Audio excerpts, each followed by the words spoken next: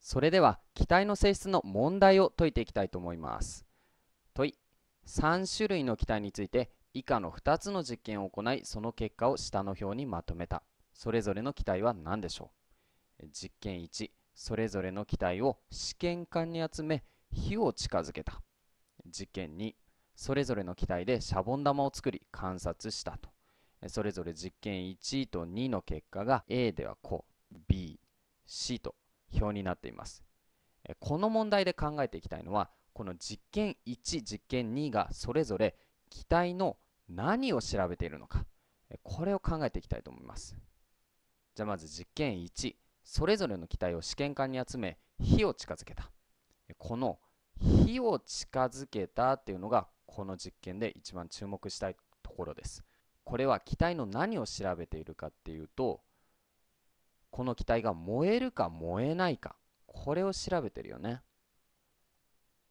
気体が燃えるかどうかっていうのをどうかを調べてます。じゃあこれ結果見てみようか。実験1だからまずこの上の部分だけ見ていきましょう。気体 A は音を立てて燃えた。気体 B は炎が少し大きくなった。気体 C はすぐに火が消えたと。いうことです。特徴的なのはこの A と B だよね。それぞれ音を立てて燃えた。炎が少し大きくなった。この2つを見ていくとこの気体 AB は燃える性質があるね。気体の中で燃える性質があるもの。あるいは物が燃えるのを助ける働きがあるものといえば思い出せるかな。これ水素か酸素だったよね。ちょっと書いとこうか。A と B は水素かか酸素。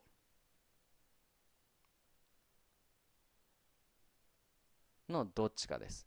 これに対して気体 C はすぐに火が消えた。これはどうかっていうと燃える働きがないんだよね。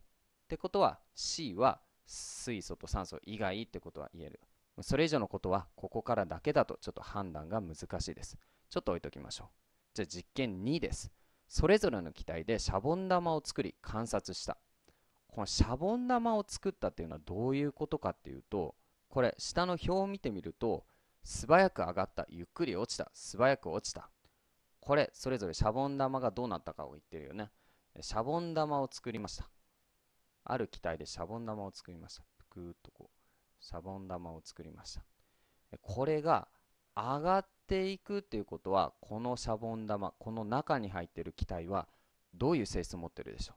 あるいはゆっくり落ちる素早く落ちるという時この場合この中の気体はどういう性質があるでしょう？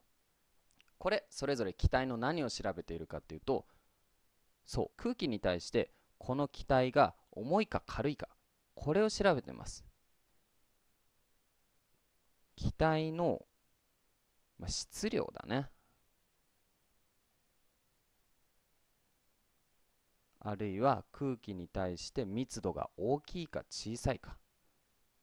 空気より密度が大きかったら質量が大きい。つまり下に落ちるし空気より密度が小さければ質量が小さい。つまりこの気体は浮くよね。この性質を見てるのが実験2でした。それぞれ ABC と見ていきましょう。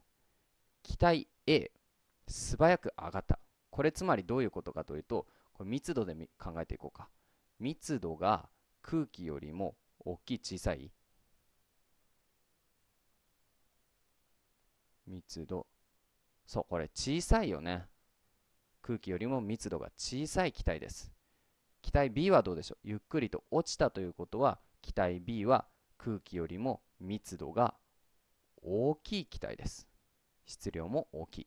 じゃあ最後気体 C は素早く落ちた。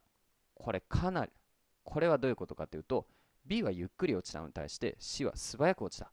ということは密度は空気と比べるとものすごく大きい。気体 B よりも気体 C の方が密度が大きい。質量も大きいということです、えー、空気よりも重いってことだね。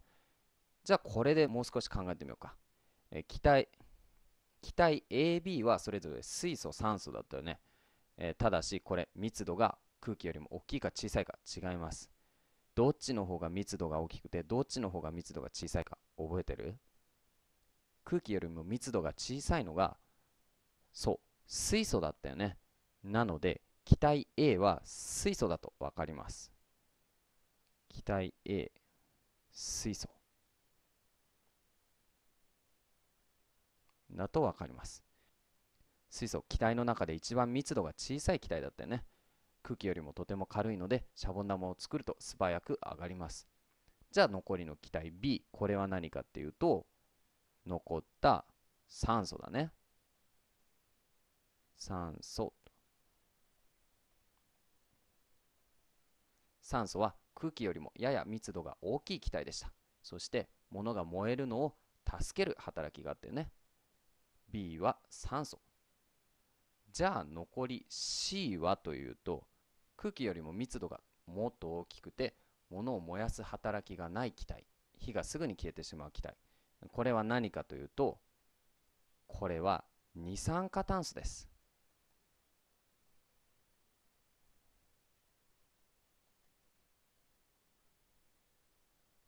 二酸化炭素空気よりも密度が結構大きいという話をしたよね、えー、物を燃やす働きはありません。